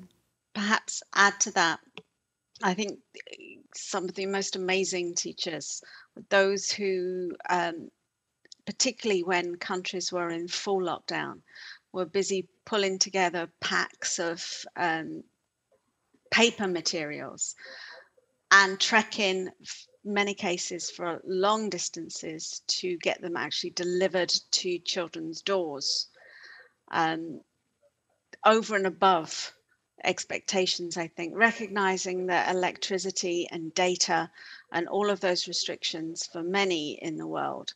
So the, the need for print materials, remembering that many schools closed very fast. So it was um, difficult for those packs to be organized before um, schools were closed. So those teachers who really went um, that extra mile to ensure that every single one of their children in their classes had materials so that they could continue learning for what was assumed would be a short period of time um, was really impressive. But also, teachers took the opportunity to create WhatsApp groups by again going around to those children's houses by collecting phone numbers um, from teachers and um, from parents to be able to create groups so at least there was some type of feedback ne- mechanism and connection with the teachers while everything was locked down. Really impressive. Thank you. Another very nice example of the creativity of teachers and, and also the, the, the risks that teachers were willing to take because i'm sure that going on home visits uh, was not self-evident for many teachers. And knowing that uh, they would, uh, yeah, maybe uh, incur risks of contamination whatsoever. Um, indeed, I, am thinking yeah. that maybe in the next few days we will see further examples of um, such creativity and, and heroic behavior. I can. Yes, was that Rifat? Yes, yes. Yes, please. Uh, I was trying to uh, remember the the stories that I hear from the teachers. Actually, uh, uh, the the word hero is very important, and if after this uh, uh, webinar we should even scale up these words to see mm -hmm. how we can bring all these success stories. Uh, there is uh, a lot of uh, heroes among the teachers uh, who's really develop uh, uh, application on the in the in the phone Uh, because they know that uh, some of the families they cannot uh, get computer or they have one laptop in their houses. So but the the iphone or is much easy that the people can get. So the application has been developed on the uh, iPhone and the application had sent freely to the students where the family, the parents, the mothers, the fathers, uh, and even the neighbors can work with the student in the same application. Uh, they can, uh, it's very easy, uh, including games, uh, but also they focus on the main things, which is the reading, writing, and mathematics uh, and still uh, they are developing developing themselves in a forum where they are trying to bring all the heroes, if I can name it, from the teachers who can also uh, try to describe what he did in this uh, pandemic. There is a lot of heroes, but uh, for me, the most heroes in this pandemic is the mothers. Thank you so much. Thank you. It is. May I say something? Yes. So, I mean, to, to, to me, I mean, one of the questions um, that the pandemic brought about uh, more forcefully than we had thought before um, is the role, uh, of course, of the family, but but also others in the community um, in education. Um, I mean, the teachers have the the primary role. I mean, we we all agree. Um, but uh, the, the, parents are fundamental. And, and, and one of the constituencies that uh, we don't look uh, that much at um, are either the alumni uh, of schools uh, or just members of the community, right? And uh, I mean, I do a lot of volunteer work outside of my work at the World Bank. And I know extraordinary people before COVID, COVID has nothing to do with it, right? Um, that, that, that have been dedicating a ton of volunteer work, uh, sometimes they want financial resources, but more importantly, the volunteer work. And, and, and one example I, I just want to mention is the issue of tutoring um, that can make a huge difference um, in learning. Uh, I'm talking here about tutoring mostly after school, uh, but sometimes uh, even uh, within the schools. Um, and also the link between the schools and the local community. I mean, I have in mind uh, that uh, principal in Burkina Faso who created um, this link with the businesses um, in his community for them to go to the school and talk about uh, what jobs people might have afterwards. He's a secondary school, even creating a little um, business center that the students actually are, are managing for the, the, the, the furnitures, the pencils, or whatever they can use in the schools. I, I think that um, one of the things we should uh, take as a lesson uh, from, from this whole pandemic is, is uh, the, the role of others in supporting the teachers and, and what we can do. Uh, to try to um, increase uh, the impact and, and mobilization. Um, uh, so, I mean, I don't know if what I said is is, is coherent, um, but but I think that most of the people who did a great great service and were heroes uh, during the pandemic were actually uh, doing that before, and we do that after. Um, and uh, that that broader community, how do we manage to to make it support the school at a very practical level? I think that matters a lot. Thank you very much. Um, maybe paradoxically, uh, we are focusing more on private initiative, uh, but uh, Mr. Sabbah already highlighted a lot of, say, more structural questions that uh, arise from this COVID crisis. And uh, I would like now to move to the second part of the discussion, which is about, say, the more structural political issues related to, um, say, um, restoring the learning loss, um, closing the gap also because um, we have uh, noticed that um, inequalities in education have strongly increased and learning poverty is increasing. Um, so what are some key messages that you want to convey to, say, the policy level at national and international uh, level? Um, it's not necessary to repeat messages from the um, presentations you gave, but maybe there are some remaining um, messages that you want to, to highlight um, before we close the session.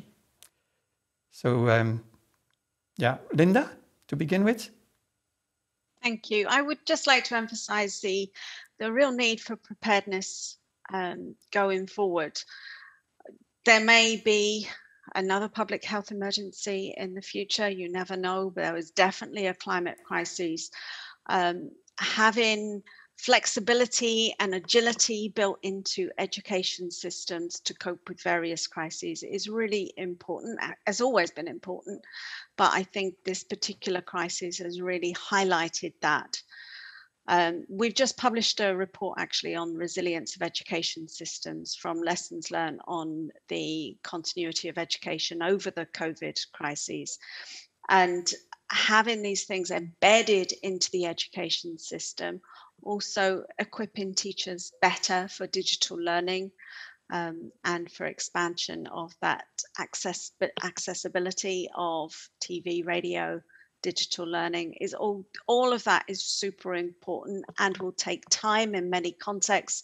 So having that built in into both preparedness and response of education systems is is going to be crucial moving forward um, which will take dedicated funding thank, thank you. you. yeah i think it's very important to be prepared for the next crisis and um, yeah, there's one tendency of uh, getting back to normal, and people are very happy to reopen classes, etc. Um, but um, yeah, we should um, be aware of the the, the, the risks um, that may pop up in the in the future, and um, undoubtedly our education systems need to become more flexible and combine uh, distance um, tools with uh, face-to-face -face education, etc. That is one important lesson. Uh, some other lessons, uh, Annapurni, would you want to highlight? I was actually really echoing. Uh, sorry. Um, I was really echoing uh, Linda's thoughts. I really feel that um, our teachers were taken by surprise uh, this time. But next time we have an opportunity to prepare them and skill them better to cope with a scenario like this. Um, the second thing um, I felt was that uh, once schools reopen, giving students enough time to catch up and uh, focus on basic foundational language and math rather than delving right into the academic curriculum or grade level teaching. Give because many students have been out of school for more than two years of their academic life. So giving students and teachers the time to meet each other at the right level, at the right learning level, at the right pace, so that they have the time to catch up the learning loss that has happened, giving them first few months to do that, first 100 days, first few months, just focusing on the language and math skills that are needed to move forward rather than moving into a grade level curriculum right away. You're right. I think uh, there's a risk uh, that uh, with the rigidity of current um, education systems, uh, with um, different class levels and, and uh, curricula that are tailored to a particular class level, um, we will not be able to cope with the diversity of, of um, learning issues. And, and there's a need for a lot of flexibility and adaptation of uh, and prioritizing the basics, and that's uh, your main point. Um, Rifat, uh, would you like to add a point very briefly because time is running out? Yes, yes. Uh, I, the solidarity. The solidarity is very important if we want to face and come up over this crisis and to face the coming uh, financial crisis. Without solidarity at the national level, at the global level, at the international level, we will not uh, reach there safely. Mm -hmm. Thank you Thank very you. much. Yeah. Um, and I, I like not only the the say your call for warm solidarity, but also the, the necessity to uh, cope with tax evasion and to uh, to tackle issues of um, debt accumulation and so on, which are the more structural aspects of solidarity. Quentin, last word from you. Well, um, there is so much that could be said, right, in terms of broad messages for policymakers. And I mean, whether UNICEF, uh, the World Bank, or others, we have so many reports that we put out.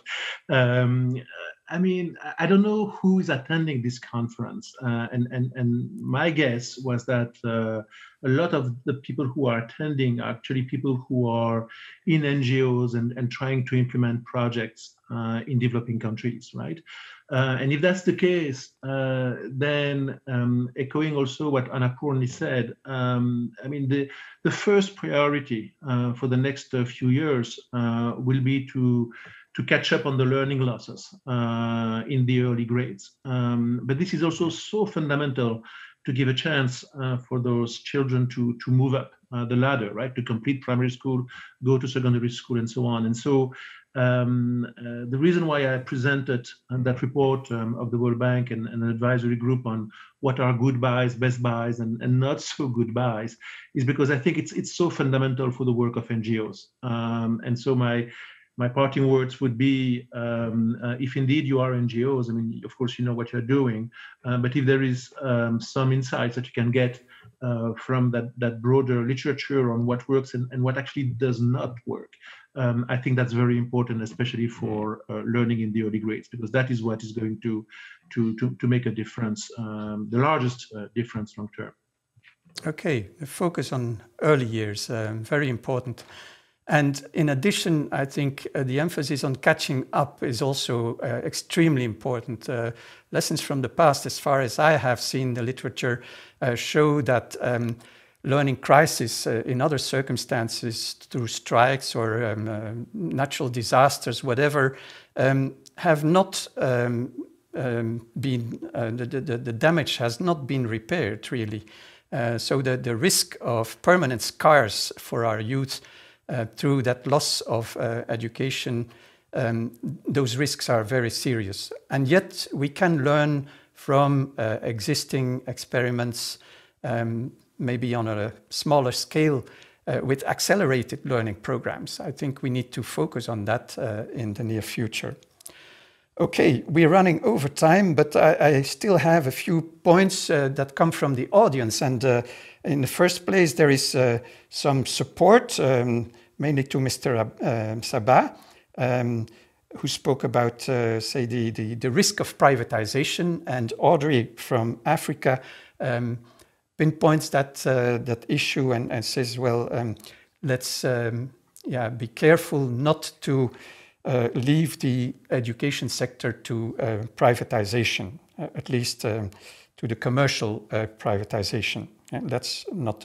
This is more a statement of support than a question. A question um, that arises, and uh, it's um, the, the phrasing is fairly long, but it boils down to the issue of quality how can we make sure that quality um, rises again and, and that we uh, are really able to, um, to provide um, good learning opportunities, uh, a strong, um, powerful learning environment to students. That's also a challenge for uh, the panelists to um, give a comment in, say, uh, one minute each at most. Who wants to kick off?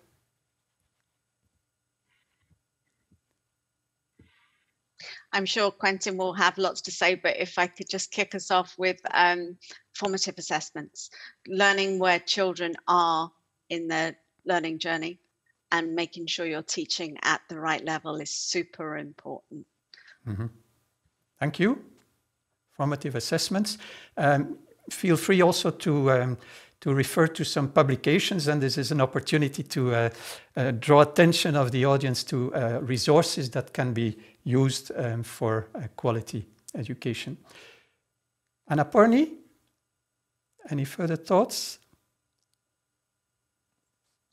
Um, teaching at the right level would be what I would echo as well. Uh, to say that meeting students at the level they are at, giving them the content according to the assessment and the learning level they are, and created creating accelerated learning programs so that they move up the ladder faster.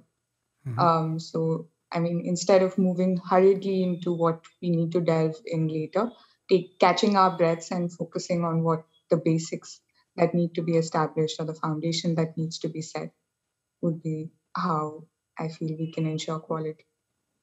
Good point. Uh, the learning level does no longer coincide with age, eh, as it uh, used to be in the past in, say, normal circumstances. And um, I think this also relates very well to Linda's point on uh, formative assessment, because formative assessment allows you to teach uh, young people at, uh, at the right level. Rifat, uh, any point you want to make on quality?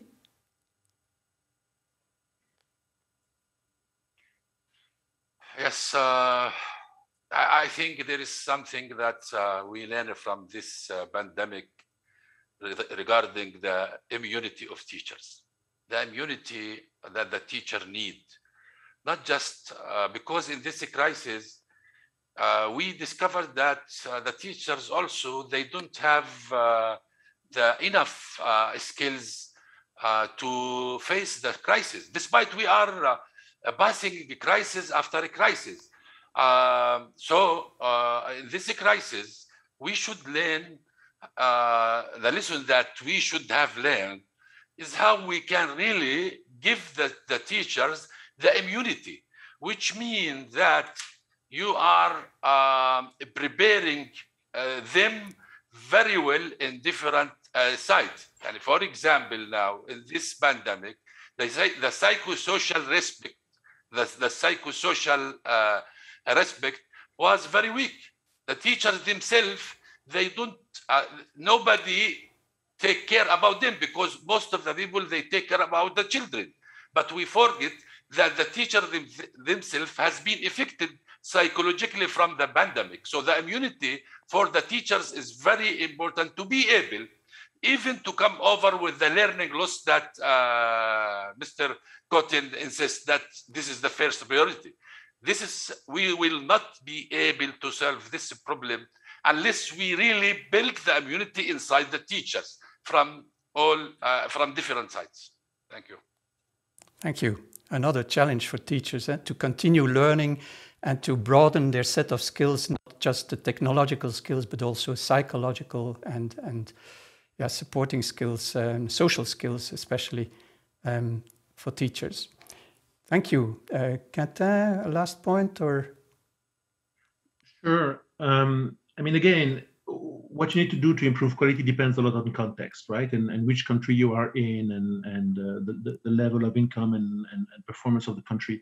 But um, I want to mention scripted lessons, um, which uh, sometimes uh, has a bad uh, press, um, with people saying, well, it, it kind of cuts uh, the, the freedom of the teachers to um, expand on, on what the teacher is, is teaching. But, but frankly, I mean, if we are talking about some of the countries in which uh, the Belgian cooperation is the most involved, right? They, they are low income countries in Africa. Uh, in those countries, a, a large majority of the teachers do not uh, master at all uh, what they are teaching, right? Um, and so scripted lessons can help them um, teach better and, and focus um, and, and, and, and, practice more. Now, you need uh, coaching as well. Uh, it's not only scripted lessons, but uh, I, I, think that this should be mentioned in, in very low income context as one of the ways uh, to improve uh, quality in the early grades. Uh, and maybe I should just mention one more thing. I mean, many of our organizations, UNICEF, World Bank, Pratham, others, we have some tools um, that we can share. I mean, the World Bank created recently um, a tool to assess teachers um, and to coach them. I mean, it's actually a uh, teach and coach are two tools, uh, and those are uh, available uh, for free. That's one of the reasons why they were made, uh, because uh, it, it enables everybody to use them as, as opposed to having to pay for some of the commercially made available tools.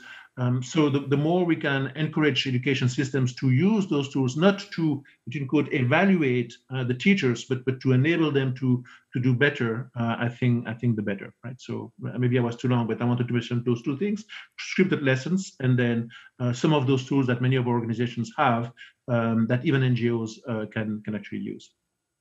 Thank you very much.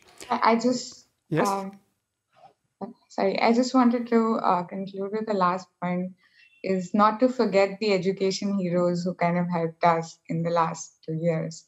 So since the community participation and parents have really been the core strength in the last two years, once school starts, let's not again run in silos of community and school separately. Instead, draw connections between the two so that quality can be maintained both in school but also be supported at home. Thank you. That's uh, indeed a very useful addition. Um, I have a last, a very last question, which is a practical one uh, from uh, Hikman Nurbatra. Um, thank you for the great presentation, she said, or he says, I don't know. Uh, uh, I wonder, is there any grants or programs accessible to individuals from developing countries to empower the communities in the educational sector? Any programs for support to communities operating in the, the education sector. I see people thinking and, and keeping silent. Maybe we Well, should. Yes, please. No, I mean, uh, just, just to say that, I mean, for, for international organizations such as uh, UNICEF and the World Bank and others, I mean, while we do sometimes support um, uh, NGOs and so on, uh, quite a bit of the support goes to governments, right? Uh, and so it's more difficult for us to, to, to really uh, be able to provide that support. Um, uh, but but there are a wide range of foundations that do provide support to NGOs. Um, uh, so what could be actually very useful, I don't know who wants to do it, is to try to uh, uh, put together a list of those. Um, and, and more generally, I think that uh, perhaps what could be done is uh, for the participants, and since I guess people registered and so we have their emails, uh, is that after this conference, we could put together perhaps a two or three pagers uh, with a number of links uh, that people could use uh, to access uh, reports or even uh, for that last questions, some of the foundations that do provide uh, di- direct support to NGOs. That will be very useful indeed. Um, thank you very much. Um, so I invite the speakers also to keep forwarding some documentation uh, if they like to, uh, say, supplement their um, wonderful presentations. And uh, I also enjoyed the discussion very much. Um, I think we can close now this, uh, this session and I hand over to um, Maria again for some closing words. Thank you. Thank you to all.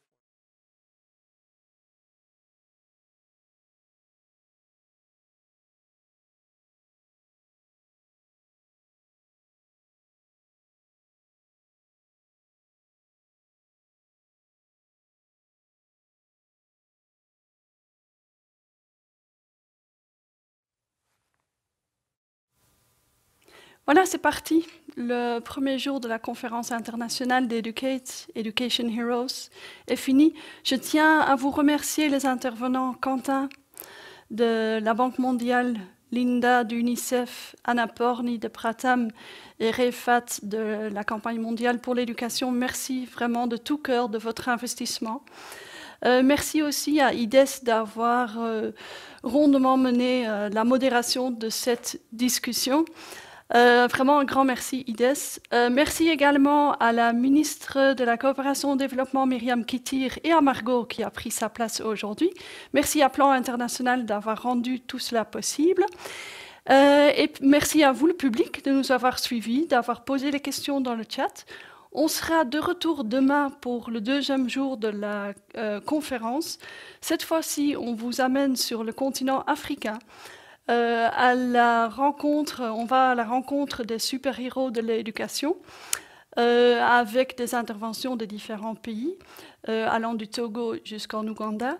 N'oubliez pas, il est toujours temps de vous inscrire sur le site internet educate.be pour les sessions de demain, de mercredi, donc mercredi demain, jeudi et vendredi. Les enregistrements de cette journée seront disponibles sur le site ce soir. Euh, les présentations également. Et n'oubliez pas, si vous voulez continuer à communiquer autour de la conférence, c'est en mentionnant la hashtag Education Heroes. Je vous dis au revoir, je vous dis une bonne journée, une bonne soirée en fonction d'où vous nous écoutez et on se retrouve demain pour la deuxième journée. Merci beaucoup à vous et passez une bonne journée. Merci, au revoir.